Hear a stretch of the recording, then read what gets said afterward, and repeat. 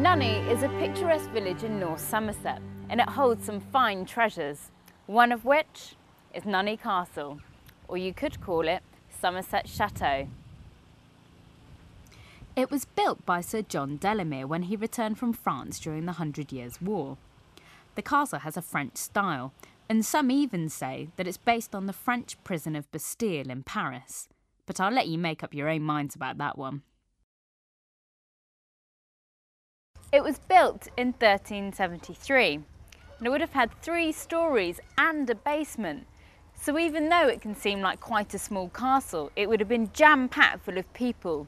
Servants, knights, banquets and parties. It would have been a real hive of activity. It's easy to imagine that this was the real centre of the community. Its walls and its towers are all still intact.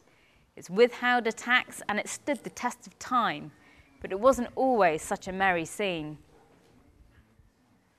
During the English Civil War, it was taken over by Oliver Cromwell and his men.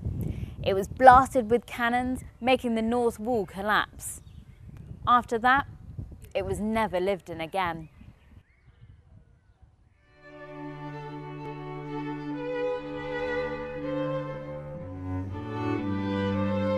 But it remains a beautiful piece of history, and it even has one of the deepest moats in England, and not many castles can boast about that. So why don't you come and see it for yourself? It's free to get in and a short drive from Frome on the A361. Watch out if you're coming at night though, because some people say it's meant to be haunted. But for now, this is me and my castle.